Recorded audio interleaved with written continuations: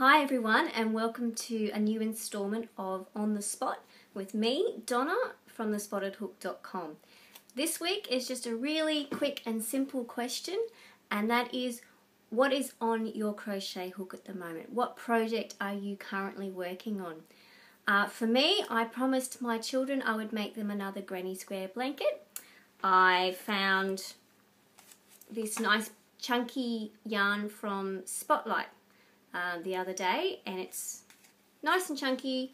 I found my 10 millimeter hook and I'm slowly working my way through another granny square blanket. This time blue. The last one was pink.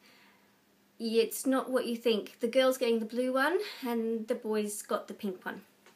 But hey, that's what works. So that's what's currently on my hook at the moment.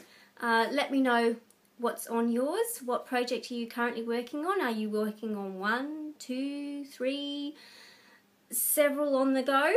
Um, which, funnily enough, I'm not at the moment, but I do a lot. Um, let me know. You can leave a comment on the blog. It's www.thespottedhook.com or you can join in the discussion at Facebook, which is facebook.com slash thespottedhook.